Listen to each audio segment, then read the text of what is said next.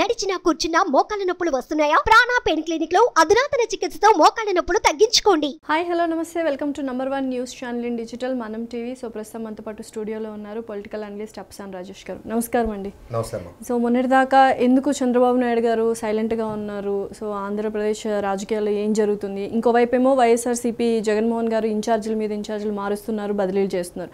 కానీ ఇప్పుడు ఈయన ప్రెస్ మీట్ పెట్టి త్రిశూల్ వ్యూహం అనేది ఏదైతే ఉందో అది అమలు చేస్తున్నారు దాని మీద మీ అభిప్రాయం ఏంటి? ఎలా ఉండబోతోంది? అంటే పవన్ కళ్యాణ్ గారు కావచ్చు తర్వాత చంద్రబాబు నాయుడు గారు కావచ్చు లోకేష్ బాబు గారు కావచ్చు వివిధ వివిధ ప్రాంతాల్లో వెళ్ళి ప్రజల్లోకి వెళ్ళి మమేకమై ప్రచారం చేయాలనుకుంటున్నారు. వర్కౌట్ అవుతుందా లేదా అనేది నా ప్రశ్న. ఇప్పుడు ఏ రాజకీయ పక్షమైనా కూడా ఎన్నికలు సమీపిస్తున్న నేపథ్యంలో వాళ్ళ వాళ్ళ ప్రచార వ్యూహాలకు పదును పెట్టాలని చెప్పని ఆలోచిస్తాయి. అయితే ప్రతిపక్ష బాధ్యతలు నిర్వహిస్తున్న తెలుగుదేశం పార్టీ అలాగే మరొక ప్రతిపక్షంగా ఉన్న జనసేన పార్టీ కూడా వాళ్ళ ఎన్నికల వ్యూహం ఏంటి వాళ్ళ ఎన్నికల ప్రచారం ఎట్లా ఉండబోతుంది అనేది దాదాపు ఒక సంవత్సరాల క్రితమే ఆ ఎక్సర్సైజ్ బిగిన్ చేశారు. రెండు వేల ఇరవై రెండు మార్చి పద్నాలుగో తారీఖు రోజున పార్టీ ఆవిర్భావ దినోత్సవ వేదిక నుంచి పవన్ కళ్యాణ్ గారు కూడా అంటే వాళ్ళ ఎనిమిదో వార్షిక పార్టీ ఆవిర్భావ దినోత్సవం. ఇప్పటం గ్రామంలో జరిగిన ఆ సభా వేదిక నుంచే రాబోయే రెండు వేల ఇరవై నాలుగు ఎన్నికల్లో ప్రభుత్వ వ్యతిరేక ఓటు చేయలేనివ్వము అని చెప్పని ఒక స్పష్టతతో కూడిన ప్రకటన ఆయన వైపు నుంచి రావడం జరిగింది. అదే సందర్భంలో రెండు వేల ఇరవై రెండు మే ఇరవై ఎనిమిదో తారీఖు ఒంగోలులో జరిగిన తెలుగుదేశం పార్టీ మహానాడు వేదిక నుంచి తెలుగుదేశం పార్టీ కూడా తమ ఎన్నికల ప్రచారాన్ని దాదాపుగా అంటే ఆల్మోస్ట్ రెండు వేల ఇరవై నాలుగులో ఎన్నికలు షెడ్యూల్ అయి ఉంటే ఒక టూ ఇయర్స్ ముందే ఎవరి వ్యూహాలు వాళ్ళు పదును పెట్టుకోవడం జరిగింది. వాళ్ళ ప్రచార కార్యక్రమాలు మొదలుపెట్టారు. తెలుగుదేశం పార్టీ ఆ రోజు నుంచి కూడా చంద్రబాబు నాయుడు గారి నాయకత్వంలో మినీ మహానాడులు అని చెప్పని వివిధ జిల్లాల్లో సభలు ఏర్పాటు చేసుకున్నారు. తర్వాత బాదుడే బాదుడు అని చెప్పని ఒక కార్యక్రమం తీసుకొని రాష్ట్ర వ్యాప్తంగా పర్యటన చేశారు. తర్వాత ఇదేం కర్మ ఈ రాష్ట్రానికి అని చెప్పని ఒక కార్యక్రమం తీసుకొని రాష్ట్ర వ్యాప్త పర్యటన చేశారు.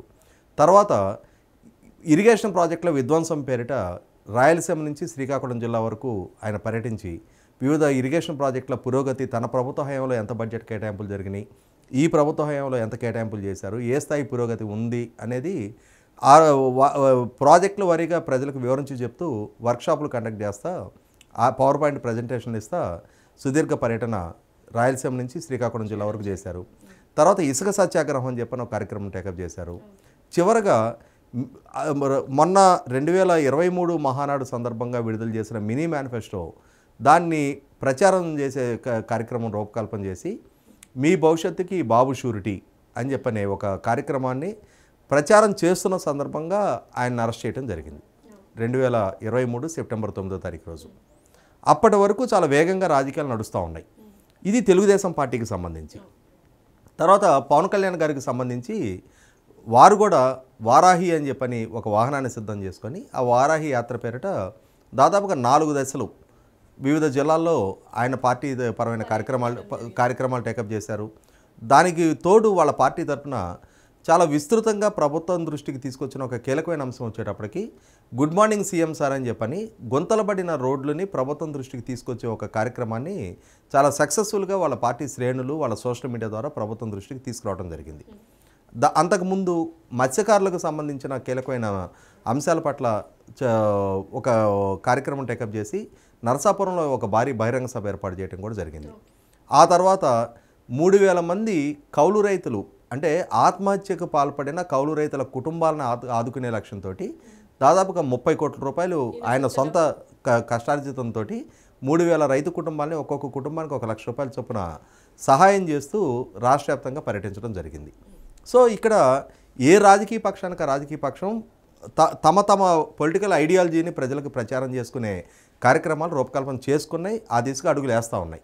అయితే మీరు ఇందాక ప్రస్తావించిన చంద్రబాబు నాయుడు గారు ఎందుకు కామ్గా ఉన్నారు అనే అంశం అది పరిస్థితులు అట్లా అంటే ప్రభుత్వం అటువంటి పరిస్థితులు సృష్టించింది.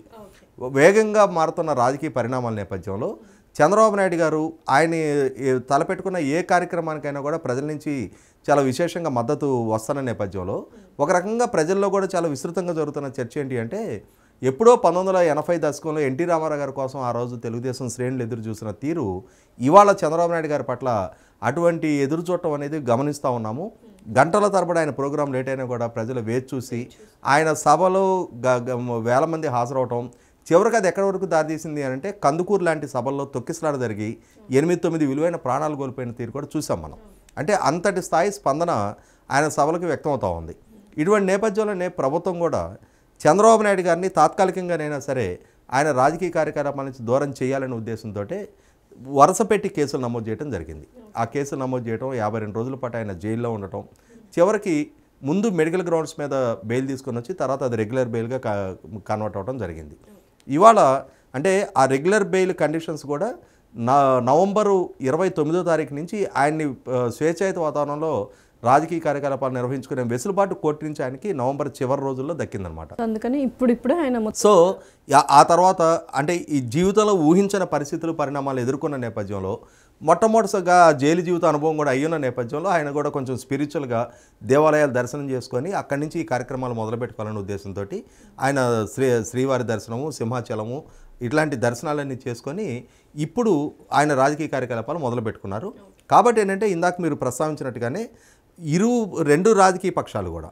అంటే రెండు రెండు రాజకీయ పక్షాలు వాళ్ళు ఆల్రెడీ ఒక స్పష్టత కూడిన ప్రకటన చేయడం జరిగింది. రాబోతున్న ఎన్నికల్లో ఈ రెండు రాజకీయ పక్షాలు కలిపి సాహిత్యంతో ఎన్నికలను ఎదుర్కోవాలని చెప్పని ఒక నిర్ణయానికి రావడం జరిగింది. ఆ నిర్ణయానికి రా వచ్చిన దృష్ట్యానే ఈ నెల ఇరవై తారీఖు నారా లోకేష్ యోగళం పాదయాత్ర ముగింపు సందర్భంగా ఇక్కడ మనం ఈ ఇద్దరు గురించి ప్రస్తావించుకున్నాం. ఈ లోపుగా జనవరి ఇరవై ఏడో తారీఖు నారా లోకేష్ నాలుగు వందల రోజులు నాలుగు వేల కిలోమీటర్లు అనే ఒక లక్ష్యంతో యోగళం పేరిట యువతని అడ్రస్ చేస్తా. ఎందుకంటే ఇక్కడ ప్రధానంగా యువత గురించి ఎందుకు మాట్లాడుకోవాలి అని అంటే రెండు వేల పంతొమ్మిది ఎన్నికలకు ముందు ఆ రోజు జగన్మోహన్ రెడ్డి గారు ప్రతిపక్ష నాయకుడిగా ముఖ్యంగా యోబేరి అని చెప్పని వివిధ కార్యక్రమాల ద్వారా యూనివర్సిటీలు కాలేజీల్లో ప్రోగ్రాంలు ఏర్పాటు చేసి యువతని టార్గెటెడ్గా అంటే జ చంద్రబాబు నాయుడు గారు ప్రత్యేక హోదా సాధించలేకపోయారు. ప్రత్యేక హోదా ఆవశ్యకత ఏంటి? అది కనుక సాధించినప్పుడు రాష్ట్రానికి కొనుగోరే ప్రయోజనాలు ఏంటి?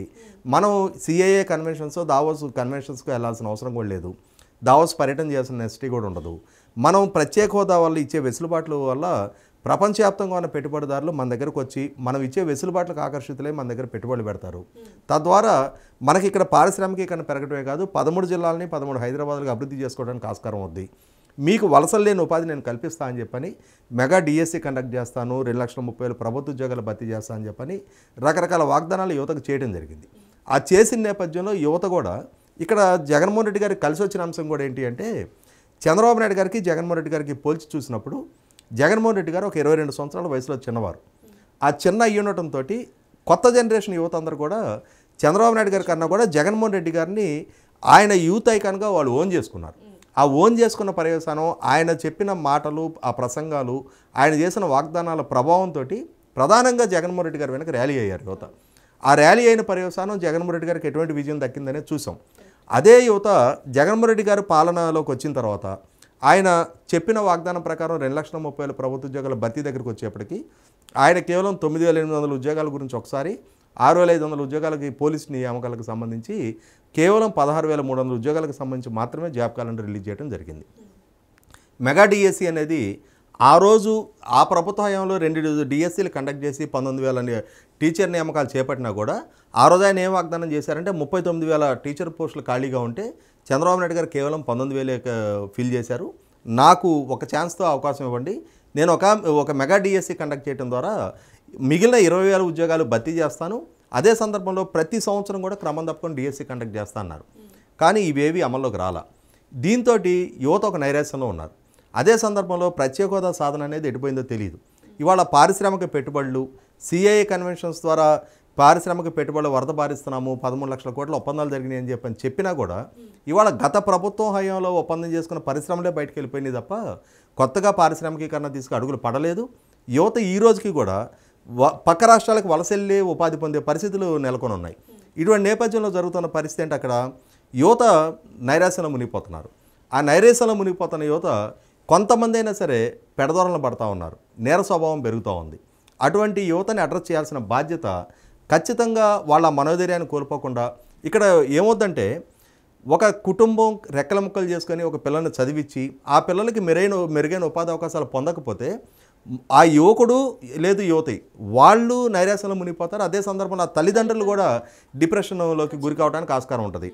అంటే మనలాంటి కష్టాలు ఎదుర్కోకూడదు. మనకన్నా మెరుగైన జ- జీవన ప్రమాణాలు అందుకోవాలి అని చెప్పని వీళ్ళు రెక్కల ముక్కలు చేసుకొని వాళ్ళని చదివించిన తర్వాత వాళ్ళు వీళ్ళతో పాటు అదే అదే వ్యవసాయ కూలీలుగాను అట్లా మారిపోతున్న నేపథ్యంలో అటువంటి మానసిక సంక్షోభాన్ని ఎదుర్కొంటున్నారు కాబట్టి వాళ్ళలో ధైర్యం నింపాల్సిన బాధ్యత ఉంటుందనే ఉద్దేశంతో నారా లోకేష్ యువగళం పేరిట ఒక పాదయాత్ర సంకల్పించుకొని యువతను టార్గెట్ చేసి యువతకి ముఖ్యంగా గత ప్రభుత్వ హయాంలో తాము ఏం చేసాం భవిష్యత్తులో మన అధికారంలోకి వస్తే ఏం చేయగలుగుతామనేది అష్యూర్ చేస్తా తన పాదయాత్ర కొనసాగిస్తూ వస్తున్న నేపథ్యంలో చంద్రబాబు నాయుడు గారి అరెస్టు ఆ యోగళం పాదయాత్ర కూడా ఆగిపోవడం జరిగింది. ఒక రకంగా ఏంటంటే చంద్రబాబు నాయుడు గారి అరెస్ట్ అనేది రాజకీయ వాతావరణంలో ఒక స్తబ్దత తీసుకొచ్చింది.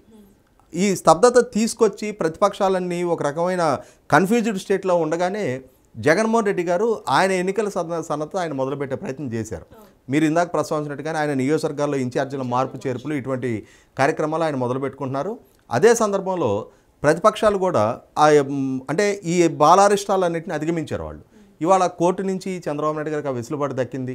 ఆ దక్కిన నేపథ్యంలో చంద్రబాబు నాయుడు గారు కూడా రేపు ఇరవై తారీఖు యోగళం పాదయాత్ర ముగింపు సందర్భంగా చంద్రబాబు నాయుడు గారు పవన్ కళ్యాణ్ గారు ఎలయన్స్ దిశగా అడుగులేస్తున్న వేయాలని ఒక నిర్ణయం తీసుకున్న తర్వాత ఎప్పుడో రెండు వేల పద్నాలుగు ఎన్నికల సందర్భంగా ఆ రోజు భారతీయ జనతా పార్టీ తెలుగుదేశం ఎలయన్స్కి మద్దతు ప్రకటించిన పవన్ కళ్యాణ్ గారు ఆ రోజు ముగ్గురు కలిపి ఉమ్మడిగా వేదిక మీద నుంచి ప్రసంగించారు. కానీ ఆ తర్వాత దాదాపుగా రెండు వేల పద్దెనిమిది పంతొమ్మిది అసెంబ్లీ ఎన్నికల్లో ఎవరికి వాళ్ళు విడిగా పోటీ చేశారు? ఇవాళ మళ్ళీ ఈ ఎన్నికల్లో కలిసి పోటీ చేయాలని ఒక స్పష్టత కూడా నిర్ణయం ప్రకటించిన నేపథ్యంలో రేపు ఇరవై తారీఖు రోజు పవన్ కళ్యాణ్ గారు చంద్రబాబు నాయుడు గారు ఇరువురు కలిపి ఒకే వేదిక నుంచి ప్రసంగించబోతా ఉన్నారు. కాబట్టి ఖచ్చితంగా ఇక రాజకీయ వాతావరణం వేడెక్కుతుంది. ఎన్నికలు సమీపిస్తూ ఉన్నాయి. ఎవరి వ్యూహాలు ఎవరి ప్రతి వ్యూహాలు ఎవరు అభ్యర్థుల ఎంపిక సీట్ల పంపిణీ ఎట్లా ఉంటుంది ఎవరికి ఎన్ని సీట్లు ఎవరెవరు ఎక్కడ పోటీ చేస్తారు ఇవన్నీ కూర్చొని పరిష్కారం చేసుకొని దానికి తగ్గట్టుగా కసరత్తు మొదలుపెట్టుకొని ఇక ప్రజల్లోకి వెళ్ళిపోవాల్సిన అవసరం సమీపిస్తుంది కాబట్టి ఆ దిశగానే పార్టీలను అడుగులేస్తా ఉన్నాయి అనేది వాస్తవం. డెఫినెట్లీ చూద్దాం సార్. నిజంగా ఎన్ని వ్యూహాలు ప్రతి వ్యూహాలు వేసిన రాజకీయ నాయకులు చివరిగా గెలిచేది ప్రజలే అన్నట్టు ప్రజలు తీర్పునివ్వాలి అంతే అంతేమని న్యాయ నిర్ణేతలు ప్రజలే కదా? ఇప్పుడు ఎవరైనా అప్పీల్ చేసుకోవాల్సింది ఆ ప్రజలకే. మాకు అవకాశం ఇవ్వండి అని చెప్పని అభ్యర్థించాల్సింది ఆ ప్రజల్ని. ప్రజలు రేపు ఫైనల్గా ఎవరికి ఏ విధమైన జడ్జిమెంట్ ఇస్తారనేది ప్రజా కోర్టులో తేలుతుంది అది. Thank you so much